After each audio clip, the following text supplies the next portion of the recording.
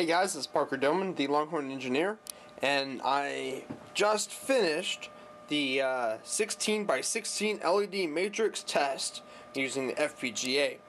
The propeller was not fast enough to uh, push the uh, all the bits necessary for the whole uh, dot matrix display, which will be 16 by 96 bits. But the FPGA is plenty fast to uh, be able to uh, push that refresh rate. I actually had to slow down the refresh rate because it was going so fast that these uh, transistor arrays were uh, not working correctly because it was switching too fast. So, I have some, uh, let's see if I can, some Verilog code that one of my friends, Marshall, helped me write. You'll be able to find the code in the uh, description of the video. So, I'm going to do is I'm going to go ahead and just program this.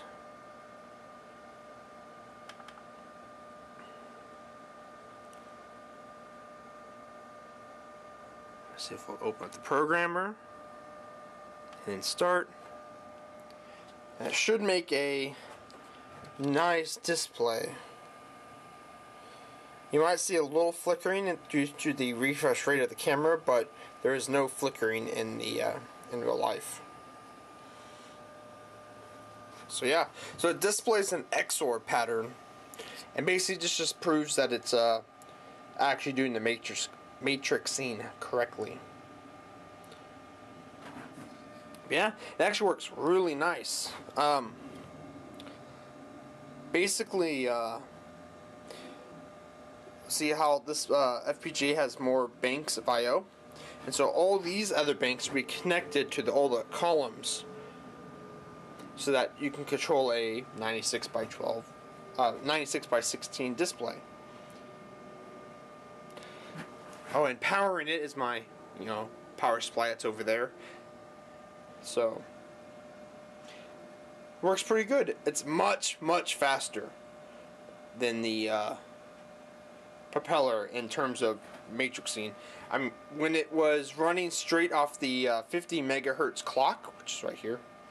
Um, it was actually refreshing the display at over 3 megahertz, which is way too fast apparently for these chips.